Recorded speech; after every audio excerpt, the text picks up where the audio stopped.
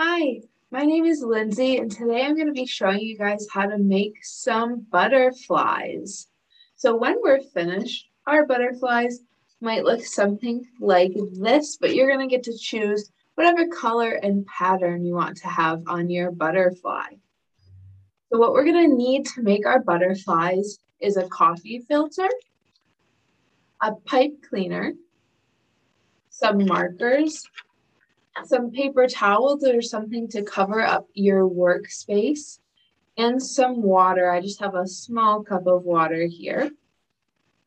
So the first thing that we're going to do to make our butterflies is take our coffee filter and flatten it out so we can draw on it. It doesn't have to be perfectly flat. We're just going to try to get it as flat as we can. So now is the fun part. You get to choose whatever colors and patterns you want to put on your butterfly. So I have some examples here. So the first butterfly that I did, this is what my coffee filter looked like. I did some pink, purple, and yellow, and I made an X pattern. And so that butterfly turned out to look like this. And another butterfly I did, I decided to draw some shapes using a bunch of different colors, some hearts, some stars, some little squigglies and polka dots. And I left a lot of white space. And that butterfly turned out like this. There's some white space and then my shapes, when I put the water on it, the color bled, made it look really cool. And then for another one I made, I wanted my butterfly to be symmetrical. So I folded my coffee filter in half before I colored it. So I did a big circle, I did some stripes, and I did a line along the outside. And then my butterfly turned out like this. So you can color your coffee filter however you would like, using whatever colors you want, any kind of pattern, shapes. You can do a design, you can just scribble. This is your butterfly, so you can make it look however you would like. For this butterfly that I'm gonna make, I'm just gonna do some scribbles.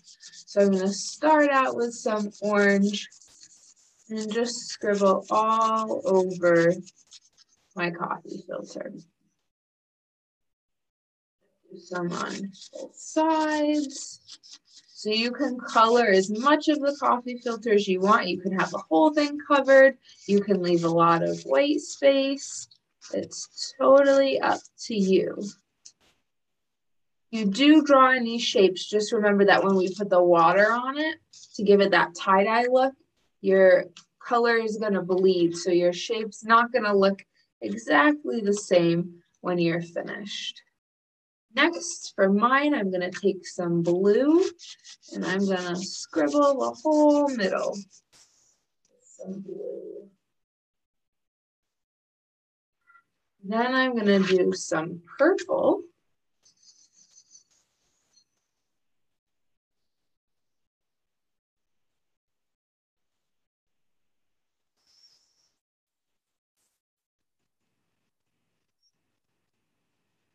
And then I'm going to fill in the rest of the white space with some green.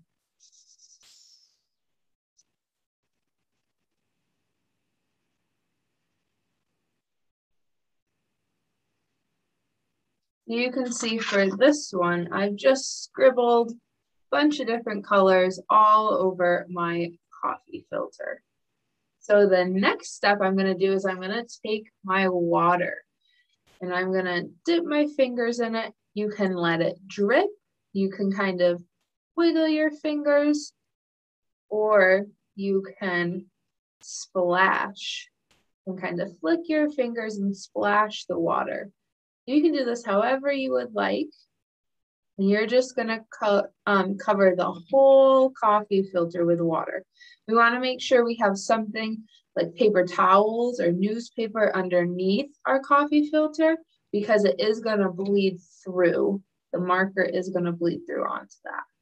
So we're just gonna cover the whole entire thing and you can watch when you put the water on it, that color is gonna start to bleed and spread all over the coffee filter. You just wanna make sure that you're covering the entire thing.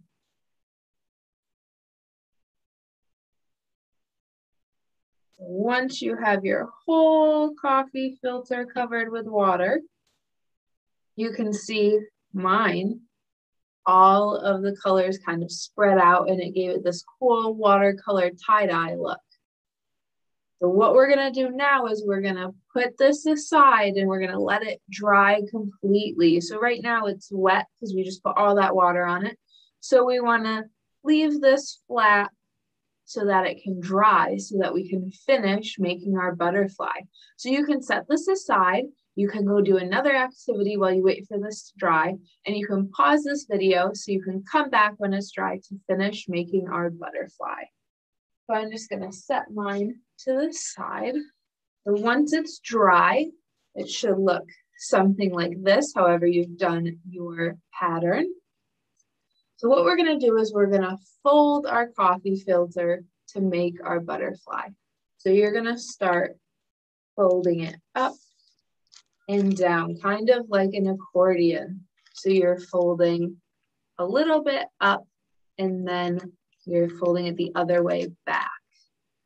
You can pick, depending on how your pattern looks, where you want to fold your butterfly. You can turn it around pick the best side and you're just going to keep folding forward and back until it's bunched up in the middle and we have our two wings.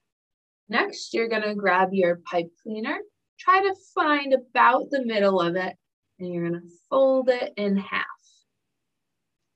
Then you're going to place the middle of your pipe cleaner on the middle of where you scrunched up and folded that coffee filter.